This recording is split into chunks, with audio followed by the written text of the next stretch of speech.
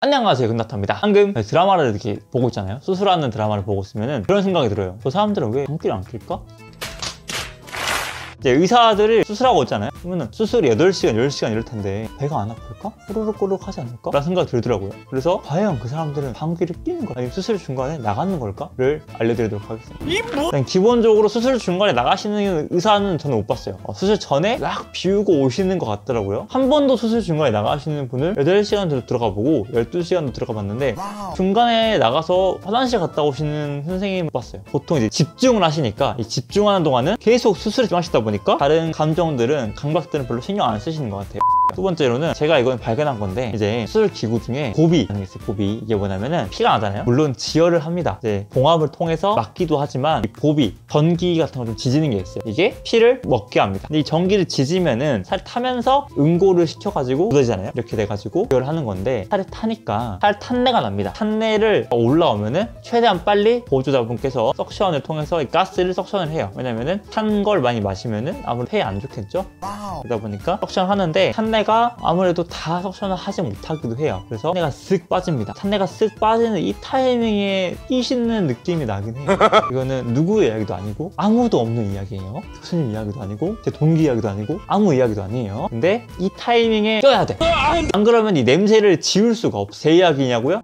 어, 이 새끼 안 그래가지고 눈치가 봅니다. 아, 배가 좀 아파요. 예를 들어 수술하는 중간에 이제 저 같은 경우는 짬이 안 되니까 수술하는 중간 배가 아프기 시작합니다. 이미 느낌이 오기 시작해요. 수술 전부터. 물론 수술 전에 저도 긴장을 해서 다 비우고 왔지만 그럼에도 불구하고 수술 시작하는 순간 갑자기 아프게 된 건 어쩔 수가 없어.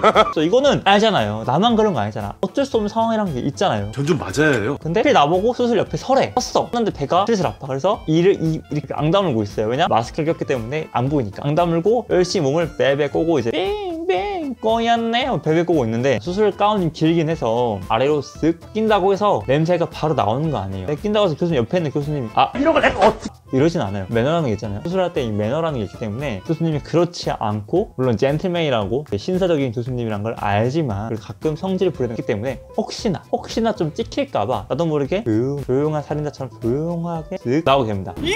근데 이거는 이제 소리는 없어. 냄새가 어디에 묻힐까를 고민하게 되는 거죠. 괜찮아요. 보통 이제 뭔가를 발사할 때는 소리와 냄새가 굉장히 중요한데 이 소리는 내가 조절할 수 있는 단계가 있잖아요. 냄새는 조절할 수가 없는 단계예요. 그래서 이 아까 말씀드렸던 고비. 무조건 이걸 쓸 수밖에 없는 타이밍이 와요. 딱 태우는 순간 바로